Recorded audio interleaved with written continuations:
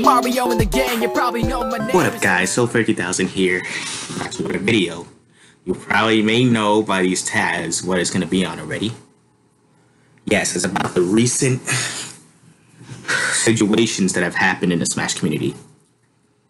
There's a lot of accusations of sexual assault, I think right here too. The Smash drama explained, there was like a lot of things, a lot of things about like the sexual assault. Many of the OG players, many of the best players I've seen, and everything. And so many people were accused of sexual assault, especially Zero. Zero. I was just a fan of him. I was a real fan of him. I subscribed. And oh I love like you would look right here. Look that's zero right here. Not meaningful. look at these dislikes, man. And he turned off all the comments because everyone just kept pestering him and pestering him about the situation.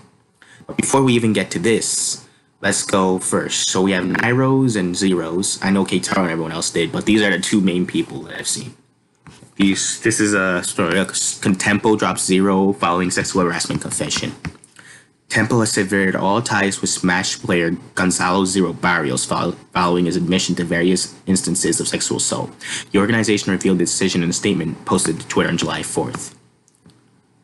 Zero was previously a Smash Bros. Ultimate content creator and live stream for Tempo. He was notable for his 56 tournament win streak in 4, lasted from November 14th to October 2015. And I think Nairo beat, destroyed that, destroyed his streak. However, Zero recently became under the following many under other and conducts. So many people here we already covered. So, just let me mention this now. Zero lost uh, any s- Tempo severed all ties with Zero, and NRG severed all ties with Nairo. Thanks to this. And there was like a hold on.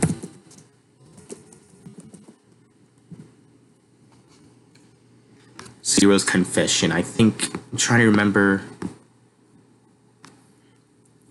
That was the one.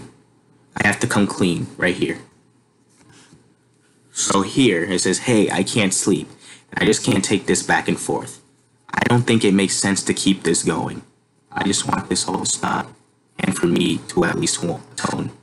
I also want people to stop defending me. I don't deserve it. So I'm guessing people were defending him because I guess at the time, I guess when people when you first brought it up, I guess some people were like, "What are they talking about? The fuck?"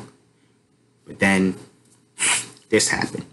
Katie, the screenshot you guys were wondering about the Ice Cube thing, I'm not even sure about that, what that is, but it's true. The claims that Katie made are true in general. There are no graphic pictures of anything of the sort, but it's unforgivable regardless. I just want to be just clear, just I want to just be clear about it here. There's one more girl I spoke to in 2014, period, a bit earlier. Her name is Laura. Originally, she never told me she was underage. She said she was older than me. I have a screenshot of this, but it doesn't matter nor make it better. But years later, she contacted me and said she was actually underage. So here you have someone who lied about their age. And Zero didn't know, but still. It says he apologized to her privately recently and told her I feel absolutely terrible about it. There's no graphic pictures of anything either that were exchanged, and she's from another country. So the 2014 one, it looks like it wasn't totally. I mean, Zero had some fault in this, but it wasn't like 100% his. But the first one definitely was. Yeah. I really just want to tone it. I just want this discussion to stop. I'm not a good person, and it doesn't matter how terrible my life was. I did terrible things, and that's the end of it. I don't deserve for people to defend me. So if you guys don't know, Zero didn't have really have a good childhood. If I remember, I think he had a depressing childhood. He had his mom. Think he only had his mom with him. His dad, I forgot. It was like an abusive relationship or something like that. Well, but more on that. Anyways, I'm working right now to obviously lose my sponsorships or any type of thing like that. I'm obviously not making more videos in general right now. Love you guys. Please don't be like me. And please don't forgive me either. I won't forgive myself either. So here, the, the sexual allegations that Zero is accused of turned out to be true. Which I still can't get over that fact. I thought, when I first saw this, I thought, I was like, wait, what? I was just confused. But here, there's the Twitter right here. Man, you should see the comments, bro.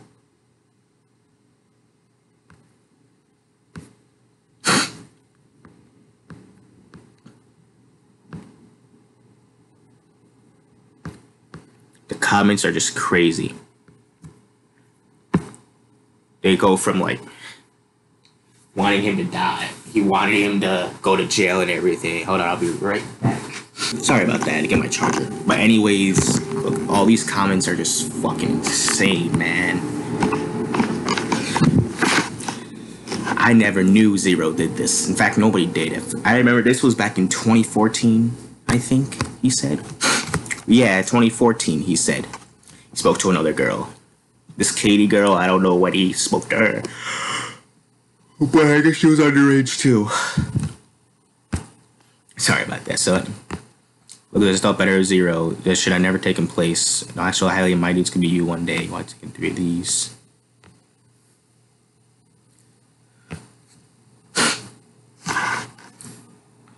And a lot of people, a lot of people just want to cancel him, just want him canceled and everything. But that's just crazy. I just still can't believe Zero did this. It's crazy, man. but, even with that, leave the guy alone. We already know. But now we go on to Nairo. I'm. This is Captain Zach. I think the guy who was sexually assaulted by Nairo. This is if you're a family member of mine, do not read this post, blah, blah, blah. I started playing in Smash tournaments when I was 12 years old. Yes, a lot of people, a lot of kids were able to join tournaments. Three years later, when I was 15 years old, I had my first sexual encounter at a Smash tournament. See, already sexual encounter. CEO Dreamland 2017, Friday night, April 14th, was the first time anything happened with Nairo, him being 20 years old at the time. Luckily, I recorded all my actions with someone on Discord. They're verifiable with timestamps that, co- that coincide with others who I've messaged. So basically, he has evidence. Of course, he has the evidence that Nairo did what he did. He said, even though in these messages I am the one initiating, I would just like to remind you I was 15 years old at the time. Nairo was 20, going on 21. I am not going to be manipulated into feeling like this is my phone any longer. And these are the pictures, but I'm just not going to show you guys because I'm probably going to get fucking taken down. So you guys check it out on your own. I'll put an description. You guys put it on your. You guys read it on your own. I'm not gonna get in trouble. This album contains all the evidence I had to share with everyone. I have asked for the consent of all persons I have screenshotted the conversations of. I blurred their names and profile pictures out. I described all the events that transpired during the weekend of CEO Dreamland and verified the actions with other references, or a tweet, message, etc. This album also contains all of the evidence I, that I have of Nairo and his brother sending me money to keep me quiet through PayPal. They attempted to use a fake PayPal name in hopes no one else would be able to track the money back to them. However, I can verify that the Jeremy Toga PayPal was indeed Nairo's account by matching up the amount of money. I had asked for my tests for my test messages with Nairo, also by doing in my part by not telling anyone about our relations. I received financial help from him. The first 2000 that I was sent was equal to the amount that I would receive from my sponsorship had I not been dropped. This was after the ally situation came to light. Nairo immediately started calling me because some people were trying to bring our situation to light. These are the July phone logs. The second phone logs, August 13th, a confirmation of him sending the $2,000 after calling me on the phone. We started using phone calls as our only means of communication, and he told me to delete our messages with him on every platform. My screenshots of the calls and messenger are because I haven't repaid my phone bill, so I only have Wi Fi available on my phone, no cellular service. The only messages I currently have of our messenger conversations. He called me today about 1240 and told me on Scrap Punk's Twitter, told me to reply to the tweet I did. He called me right after he posted his tweet and proceeded to repeatedly call me after I did not pick up his call. Nairo did not run his exact wording by me for this, for this tweet, and he painted me to be something completely different than what he told me he would say. I'm tired of living a life of lies. I'm tired of covering up for someone else's mistakes. I would like to say, however, that I never once threatened Nairo with coming public about my relations with him. The only reason I am saying my truth now is because I can't take it anymore. The stress of having this experience weighing on me for three years of my life is too much for me to bear. I would like to deeply apologize for lying to you all with my past tweets today, and I just ask for your forgiveness. I do not want to cancel Nairo, nor do I wish him ill in the slightest. I just want to live the truth. So here he's basically just admitting what Nairo did, but he didn't want him to get like lose anything or whatever. But that's pretty much too late because, like I said before, NRG cut ties with him, ties with Nairo, so he no longer. I don't think he's able to even participate in tournaments. Zero Nairo can in Keitaro. So right here, you go on Zero's page, recent video. Look, look at these dislikes, man. Ever since that incident, everything just switched around. It's just not the same anymore. Would you ever Trying to see the comments. There we go. This is when everyone pesters him on this. I'm sorry, Zero. Goodbye. You goofed up, Zero. It's like Zero. I miss you. Please don't commit die. It's like, well, bro, you were my hero. I really hate what you did, but still, thank you for all the moments, all the laughs, all the videos to tip my nerves. You only did bad things in the past, but that doesn't mean you will do bad things now. Look at this.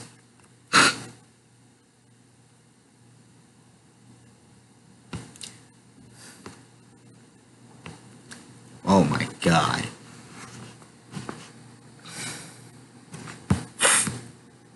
It's just not the same, you know?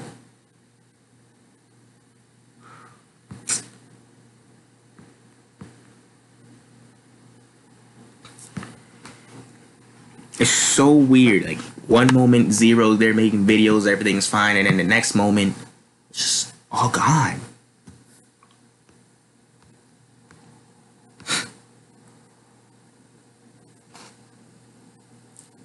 That second person talked to lied about the age. The first one he admitted that he knew.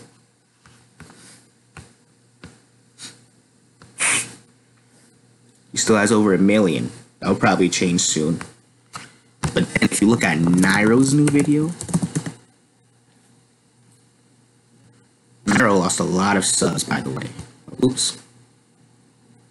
He lost a lot of subs. A lot of subs. He has like, what, 200? Optimum is here to keep No. So look at that dislike to like ratio. Like the dislike ratio. 5.2 thousand liked it. I guess that was before the. Now 6.6 thousand because of the incident. And so many people are just talking about the situation, still bringing it up. But it's the community. It's not the game. It's just I thought Smash Bros is supposed to be a fun game for casual competitive. I just never knew. Me, I never knew anything like this ever happened. Like I didn't know there was any sexual tensions or sexual relationships or anything like that during Smash communities like that. I thought. I mean, let's be honest. Not all of us knew about this till now. A lot of us. If you go by newest comments, oh my god, bro. I felt like I've lost a close friend. Goodbye, Nairo. I miss who I thought you were. I miss whatever. It's just, just it's crazy. Cause I've I, I didn't subscribe. Of course, I wasn't. You saw I'm not a subscriber to Nairo, but I would watch his videos once in a lifetime, once in a while, and I would really enjoy them. And Zero, I just loved his content too. It's just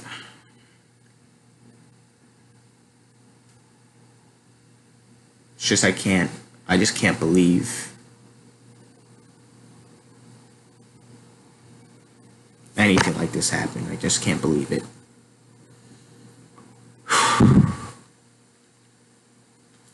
Even Keitaro was a part of it. It's just it's just not the same, you know? And yes, it, right here is like who knew Nairo was gay. Even if he's gay, it still doesn't matter. Gay or not, he's still a person. So even if he's gay, I won't think any different from him. But of course, everyone else will now because of this allegations and shit. So many people are just God, just spamming his com- the comment section, saying, "Oh, you're a bad person," oh, blah blah blah, all this shit. And then there's some people who still like it doesn't matter. Like I said, still think you're truly a good person, Nairo. And if you ever come back, I will always be here to fully support you.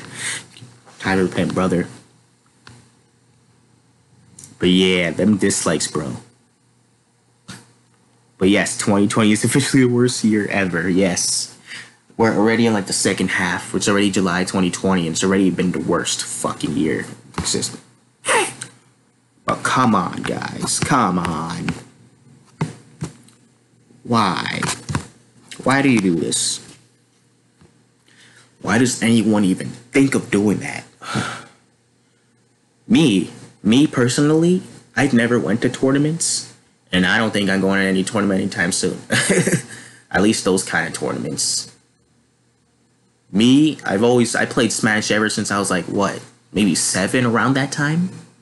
My first gas game with Melee, I just played casual. I just played for fun. I didn't play for competitive. I didn't play competitively or anything, so I wasn't even aware of like the Smash community and all that stuff till like way later on, like a few years ago.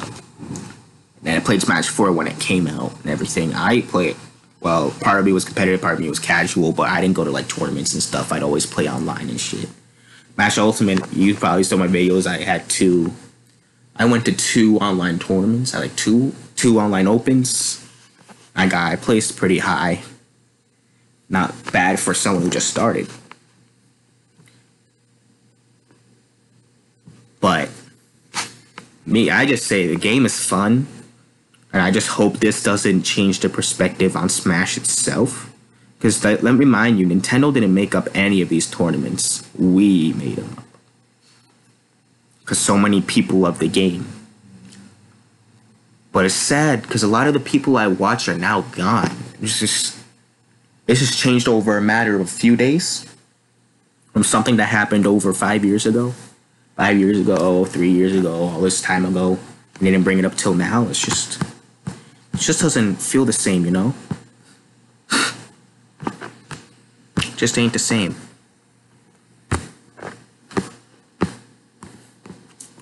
And now we have like Samsora, we have Mew2King. Yeah, like we have MKLeo now, Little Z and Poppet, Hopcat. Those three I watch a lot of. I love them. It's just crazy what the t- community has gone to. I don't know what people were thinking at the time. just crazy. Just I saw Smash as a kid. I just saw Smash as a fun game, competitive play, just all fun. But I didn't think anyone it, the tournaments were, were another reason for people were a reason for people to get to have like sexual assaulting, sexually assault each other and commit statutory rape. It's just egregious. I just I just gotta tell you this, guys. If you ever go to Smash tournaments and stuff, don't do anything like they have done. Don't do anything like that. Me, I just still can't believe Zero, Nairo, and all these other people done their stuff. But I'm gonna be honest right now. I'm gonna tell you this right now, guys. Even I don't like them for what they've done, but I still can't find myself just to hate them right away. Because a part of me inside still like likes their content and everything, still likes them as a person. I mean, this is something they've done years ago too, so they probably learned from it. But they should have made brought it up before. In fact, I wish Zero hadn't started it. Nobody has started everything, anything. Smash is just a fun game, and people should just be able to play it, and there shouldn't be no fucking sexual allegations and shit. It's just, come on. It's just. What what has happened? What has happened to us? What has happened to the Smash community? It's just crazy. It's crazy. So we lost so many amazing Smash players in a matter of what a few days. They were like heroes in our eyes, and now they're just the complete opposite. They're just seen by us as like they're seen as monsters now, sexual predators now. And people have spanned the older Zero and Nairo videos about what they've done. They spam it's like, oh, why did you do this? And it's like, oh, you should go to prison and all that shit. But but if I'm being honest, I don't really pay attention to Smash community to like that because I don't like to deal with drama too much. I'm just not that type of guy all the time. Well, sometimes, but in this regard though. Which I'm not saying that, oh, it's nice what they've done. Oh, they commit it's just a mistake they made. Oh, it's just a little mistake. It's nothing. but also at the same time, it's just can't get myself to hate them, like hate them, hate them. Of course, I'd say they should spend their time in jail or whatever, whatever they need to do. But part of me just doesn't can't hate them or anything because I just know for just too long now.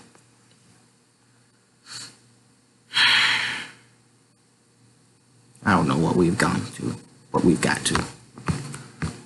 It's just, it's not going to be the same.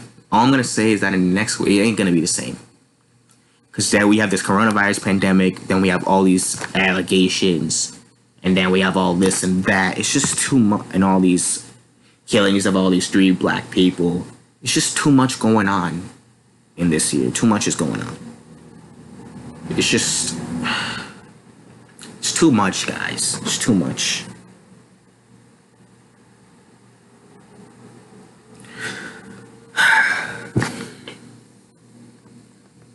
Well, guys, I'm going to put these tweets in the description so you guys can look it over yourselves. Because I don't want to get conned down for sure, like sexual shit and stuff. So, nah. So, you guys look at the rest of it. Okay? But I just can't believe people I've known are just, we're just sexual predators and everything. I just can't believe it. I cannot believe it.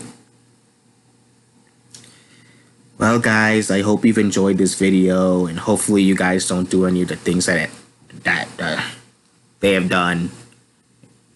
Because all of you guys, you, we are all better than this. I'm gonna say this right now. All of us, we're all better than this. We shouldn't even be thinking about that. Thinking about all this sexual assaulting and everything. We shouldn't even be thinking about it zero nairo to them. All I can say is I hope everything goes well. Hopefully there's a time where you eventually come back to making videos everything after everything is cleared up and make and then completely change your life around to everyone. That's all I'm gonna say. So I hope you guys enjoyed this video and probably notice how I just don't feel like excited or anything. It's just it's just hitting me, you know. Well, I'll see you guys next time in peace.